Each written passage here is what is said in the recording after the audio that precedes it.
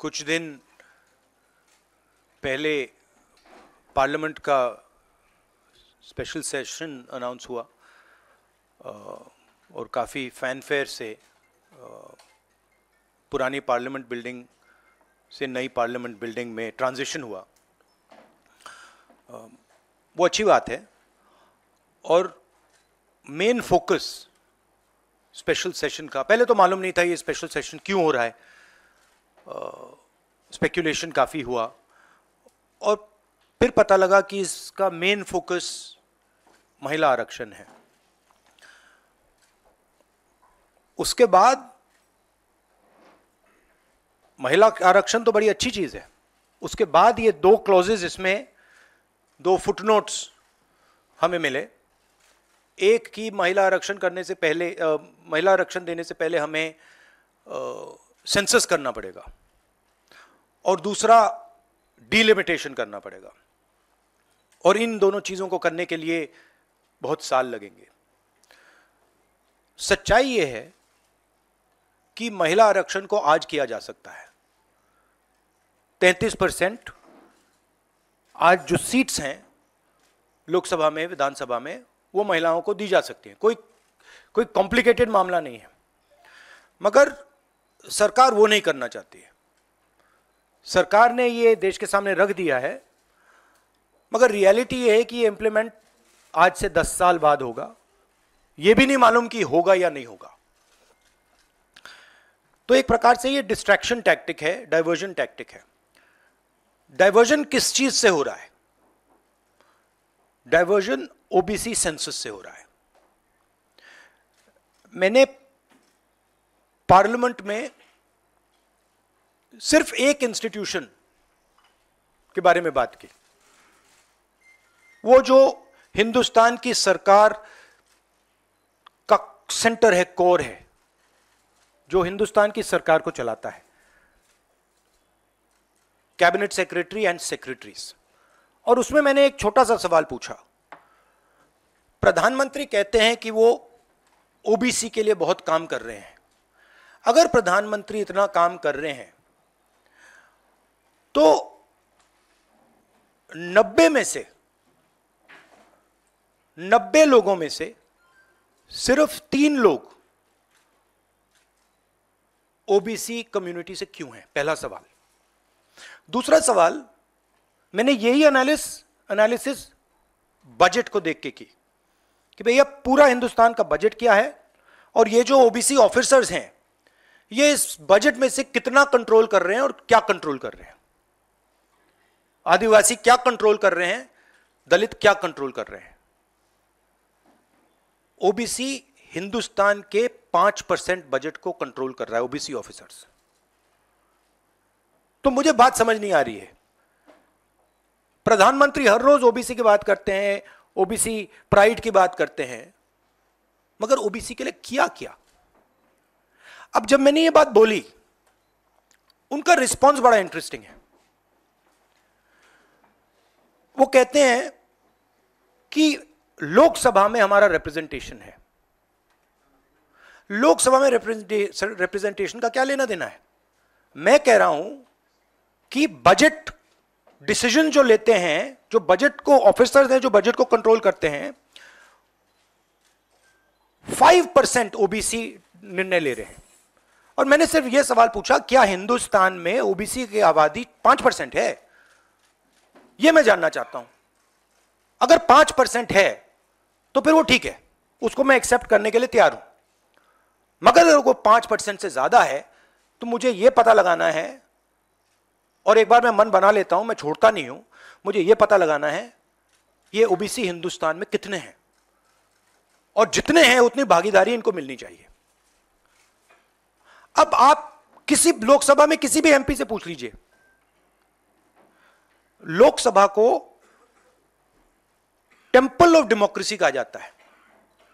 आप किसी भी बीजेपी के एमपी से पूछ लीजिए कि वो कोई डिसीज़न लेता है, कोई कानून बनाता है, कोई कानून बनाने में भाग लेता है, किसी से भी पूछ लीजिए। बिल्कुल नहीं। ना कांग्रेस का एमपी इस लोकसभा में ना बीजेपी का एमपी ना कोई और इंडिया का एमपी कोई डिसीज़न लेता है। मतलब एमपीज को, जैसे मंदिर में मूर्ति होती है, वैसे मूर्तियाँ बना रखी हैं। और ओबीसी की वहाँ पे मूर्तियाँ भर रखी हैं। मगर पावर बिल्कुल नहीं है। देश को चलाने में कोई भागीदारी नहीं है। यह सवाल मैंने उठाया है कि क्या और हर हर ओबीसी युवा को यह समझना है कि क्या आपको इस देश को चलाने में भागीदारी मिलनी चाहिए, हाँ या ना? अगर मिलनी चाहिए तो क्या आपकी आबादी पाँच परसेंट है, हाँ या ना? यह सवाल है। और डिस्ट्रैक्शन इस बात से हो रहा है। बीजेपी को ये जो दो पॉइंट्स हैं, महिला आरक्षण वाले डिलिमिटेशन और सेंसस इनको हटा देना चाहिए और एकदम महिलाओं को जो इज़्ज़त मिलनी चाहिए जो रिस्पेक्ट मिलनी चाहिए जो भागीदारी होनी चाहिए उनको एकदम वो कर दें। और कास्ट सेंसस का जो हमने डेटा निकाला था उसको पब्लिक कर दें। तो सारे हिंदुस्तान के ओबीसी युवाओं को पता लग जाए वो हैं कितने। और नया सेंसस कास्ट बेसिस पे करें। थैंक यू और और प्रधानमंत्री को प्रधानमंत्री को अपने अगले भाषण में यह कहना है यह समझाना है देश को कि हिंदुस्तान के सबसे ज़रूरी नब्बे अफसर जो हैं उनमें से सिर्फ़ तीन ओबीसी क्यों हैं? यह मेन सवाल है।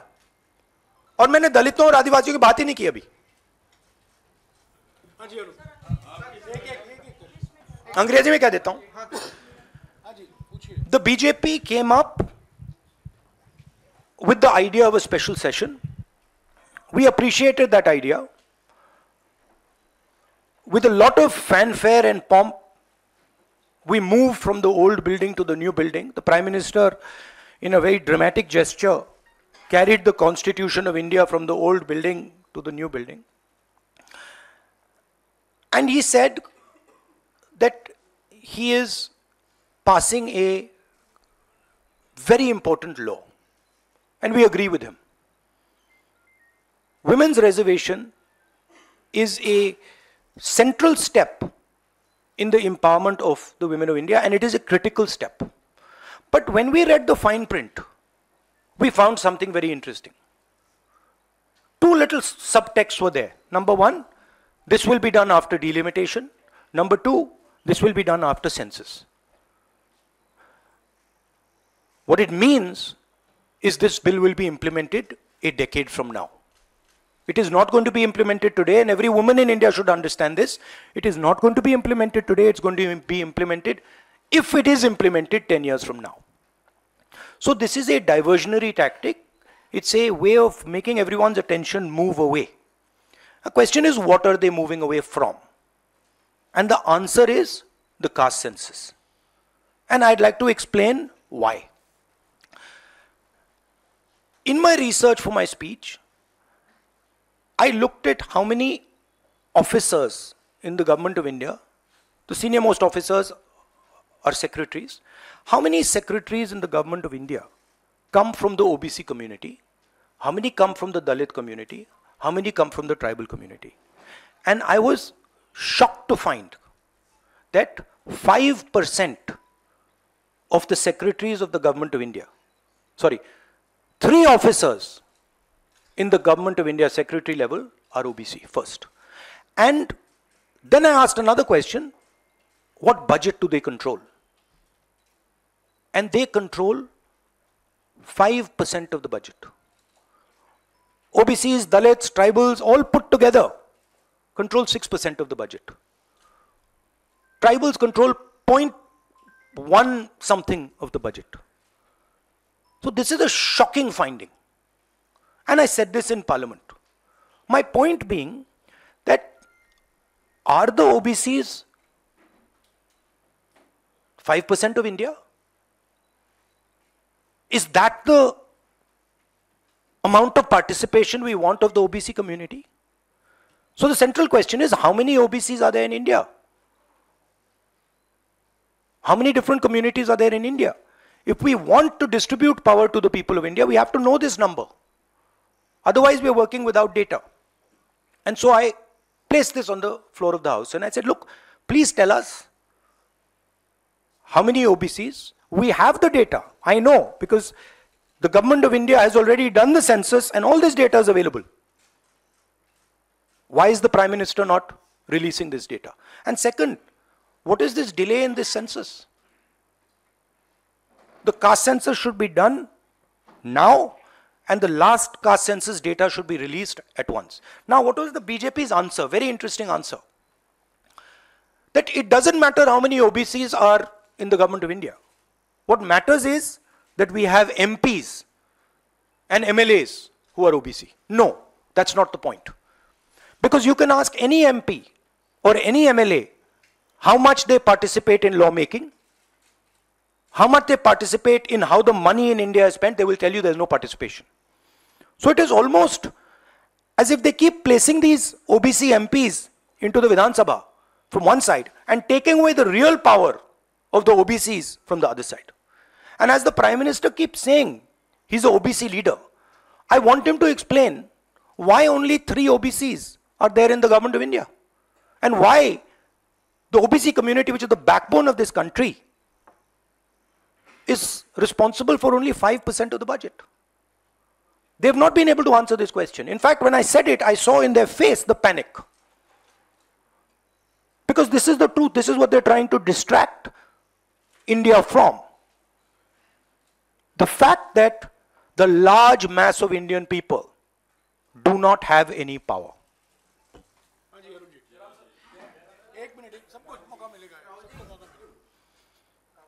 संक्षिप्त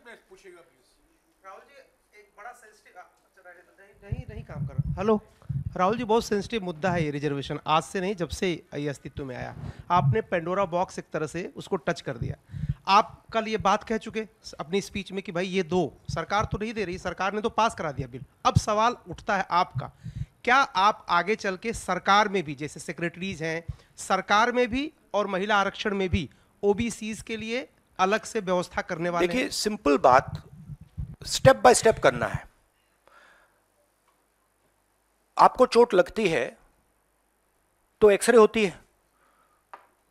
पता लगाना पड़ता है कि स्ट्रक्चर में कमज़ोरी कहाँ है, हड्डी कहाँ टूटी। मैं सिर्फ़ एक बात कह रहा हूँ, पहला कदम एक्सरे है कि हमें पहले कास्ट सेंसस के माध्यम से हिंदुस्तान का एक्सरे करना है कि भैया हैं कितने लोग? ओबीसी कितने हैं? अलग अलग कम्युनिटीज कितनी हैं? ट्राइबल्स कितने, ये पहले टेबल पे तो रखो। डिसीज़न लेने से पहले अगर हम अपने सामने डेटा ही नहीं रखेंगे तो डिसीज़न कैसे लेंगे? वो तो आपने बात की बात की। मगर पहले हमारे सामने डेटा रखो। डेटा रखोगे, मैं आपका जवाब दे दूँगा। आज तो डेटा ही नहीं है। दूसरी बात। मैंने अपने भाषण में कहा कि आज़ादी की जो मूवमेंट थी वो एक शुरुआत थी। Distribution of power transfer of power to the people of India Hindustan के लोगों को पावर ट्रांसफ़र करने का पहला बड़ा कदम था। उसके बाद हमने और कदम लिए हैं। कास्ट सेंसस से जो डेटा निकलेगा, वो हिंदुस्तान की जनता को और पावर ट्रांसफ़र करने का तरीका है। मैं कह रहा हूँ कि हिंदुस्तान के जो ओबीसी हैं दलित हैं ट्राइबल्स हैं बाकी लोग हैं महिलाएँ हैं उनको हमने ट्रांसफ़र ऑफ़ पावर करना है। उनके लिए हमें पावर ट्रांसफ़र करना है उनके हाथों में पावर डालनी है। फाउंडेशन वो है। और कास्ट सेंसस की ज़रूरत है क्योंकि उसको समझे समझे बिना हम ये कर ही नहीं सकते।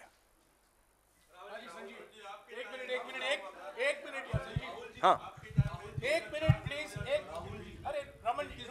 हाँ सेकंड हाँ? देखो, हमारे समय जितने भी थे, सही रिप्रेजेंटेशन होना चाहिए। हमारे समय कम था, वो भी खराब है। इनके समय कम था, कम है, ये भी खराब है। हम चेंज चाहते हैं। ठीक है? मेरा कहना है कि जब मैंने ये आंकड़ा देखा, मैं हिल गया। मैं बिलीव नहीं कर सकता था कि 90 सेक्रेटरीज में से तीन ओबीसी के हैं। मैं मैं शौक हो गया, मैं हैरान हो गया, ये क्या हो रहा है? और इसको बदलना है। हिंदुस्तान के जो आम जनता है, गरीब जनता है, उनको पावर देनी है।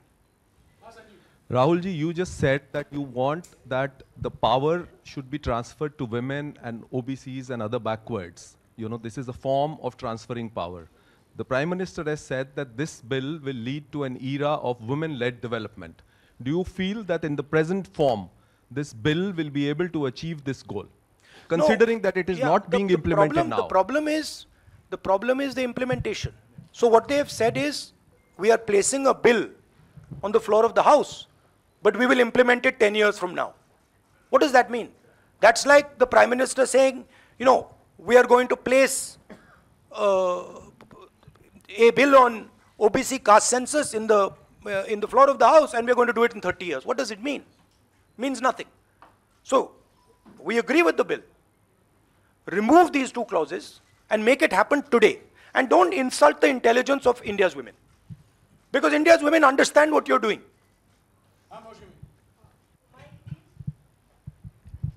अ, राहुल क्योंकि स्पेशल से- सेशन की बात हो रही है बहुत शॉकिंग एक वीडियो जो वायरल हो रहा है उसमें रमेश पिदूरी साहब फ्लोर ऑफ़ द हाउस में एक स्पीच दे रहे हैं जिसमें वो दानिश अली साहब को ऑन रिकॉर्ड मतलब माइक पे आतंकवादी कहते हैं मुल्ला कहते हैं और कई शब्दों का इस्तेमाल कर सकते हैं करते हैं जिनका हम प्रयोग नहीं कर सकते।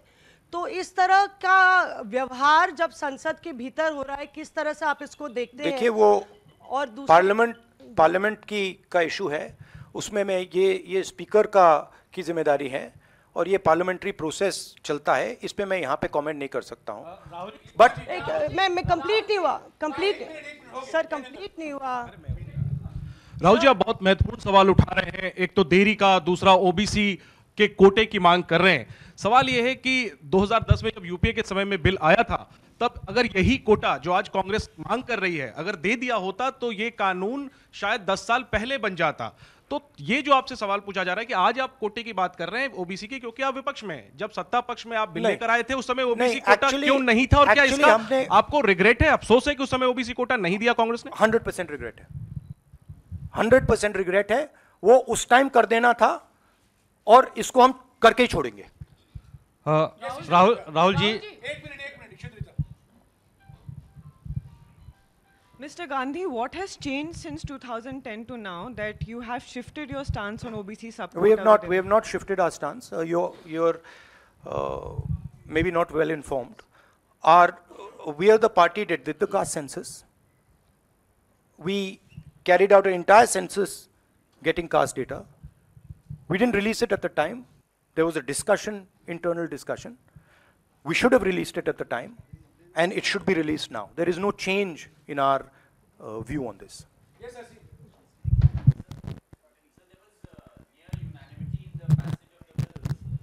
Sorry. Uh, so there was near unanimity in the passage of the bills. Uh, do you think that uh, a wider consultation process should have been followed uh, before bringing the uh, bill uh, in the special session? we are we are okay with the bill we have supported the bill right please understand the technicality we are in full support of the bill we don't agree with the two little footnotes that have been put in the bill that basically mean that the bill is going to be implemented 10 years from today we support the bill everybody there's nobody in the house who didn't support the bill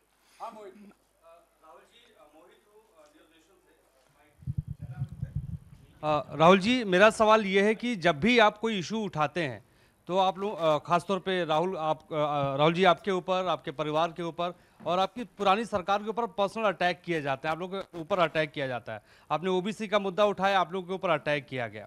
और उसके बाद आप बेबाकी से आपने बोला भी कि मैं रिग्रेट करता हूँ कि हमारी सरकार में इसको शामिल कर लिया जाता तो बेहतर होता। आखिर सरकार की क्या मंशा है? छह महीने के बाद लोकसभा चुनाव है, पाँच राज्यों में विधानसभा चुनाव है। सरकार की क्या मंशा है कि ऐसे वक्त में बिल लाया गया, पास करा लिया गया डिलिमिटेशन और परसिमन की कोई बात नहीं हुई। नहीं, मुझे, जैसे मैंने कहा, मुझे लगता है कि ये एक डिस्ट्रैक्शन टैक्टिक है। और दो मुद्दों से बीजेपी घबराती है डिस्ट्रैक्ट कराना चाहती है। और ये रिलेटेड हैं। एक हैं अदानी जी, जो देश का पूरा धन अपने हाथों में कंसंट्रेट कर रहे हैं, और दूसरा कास्ट सेंसस तो ये रिलेटेड चीज़ें हैं, और इन दोनों बटन को जब मैं दबाता हूँ जैसे यूँ दबाता हूँ बीजेपी एकदम जंप करती है। तो क्यों करती है? क्योंकि वो जो ओबीसी कम्युनिटी है सचमुच सचमुच में उनको पावर नहीं देना चाहती है। और वो पावर अदानी जीत के हाथ में कंसंट्रेट करना चाहती है। या अ, राहुल जी आपसे आपसे सवाल ये है क्योंकि जब आपने लोकसभा में भाषण दिया आपने 90 में से तीन सेक्रेटरी और ओबीसी के जो ओबीसी कम्युनिटी है उसके हालात के बारे में बात करी। अगर 2024 में इंडिया ब्लॉक जो आपका बना है वो पावर में आता है तो क्या इन चीज़ों को आप जल्द से जल्द इम्प्लीमेंट करेंगे? क्योंकि बीजेपी साफ़ तौर पर कह रही है कि आपके भाषण के बाद से साफ़ लग रहा है कि ओबीसी कार्ड इंडिया ब्लॉक या कांग्रेस पार्टी खेल रही है। तो आप अगर पावर में आते हैं तो आप क्या सबसे पहले ये ये देखिए ये ये वो कार्ड की बात करते हैं कार्ड के बारे में सोचते हैं। मैं कार्ड के बारे में नहीं सोचता हूँ। मैं जो हिंदुस्तान की जनता है उनको एम्पावर करना चाहता हूँ। और अगर मुझे दिखे कि ओबीसी कम्युनिटी जो है जो बहुत बड़ी कम्युनिटी है किसी को नहीं मालूम कितने लोग हैं। बट लोग कहते हैं पचास परसेंट तक हो सकते हैं। जब मुझे दिखता है कि एक कम्युनिटी है जिसमें हिंदुस्तान की पचास परसेंट आबादी है और गवर्नमेंट ऑफ़ इंडिया के सेक्रेटरीज में तीन लोग हैं, नब्बे में से तीन, और वो पाँच परसेंट बजट को कंट्रोल करते हैं तो मुझे गुस्सा आता है इरिटेशन होती है। इस देश में हो क्या रहा है? एक तरफ़ हम अदानी जी को देश के पूरे इंस्टीट्यूशंस पकड़ा रहे हैं, नरेंद्र मोदी जी। और दूसरी तरफ़ जो हिंदुस्तान की रीढ़ की हड्डी है, जो हिंदुस्तान को चलाते हैं, उनको हम हिंदुस्तान को चलाने में, सरकार को चलाने में कोई जगह नहीं देते हैं, दबा के निकाल देते हैं। तो इससे मुझे इरिटेशन हो रही है। और जैसे ही हमारी सरकार आएगी, हमने वहाँ पे कर्नाटक में कहा था कि जिस दिन आएगी, उस दिन हमारी पाँच गारंटीज लागू हो जाएँगी। यहाँ भी मैं कह रहा हूँ, हमारी सरकार आएगी, का सेंसस होगा। और देश को पता लगेगा कि हमारे ओबीसी भाई कितने हैं, दलित भाई कितने हैं, और उनको देश को चलाने में भागीदारी मिलेगी। ये मैं आपको कह रहा हूँ। ये छोटी प्रोसेस नहीं होगी, एक दिन में नहीं होगा। मगर नियत समझिए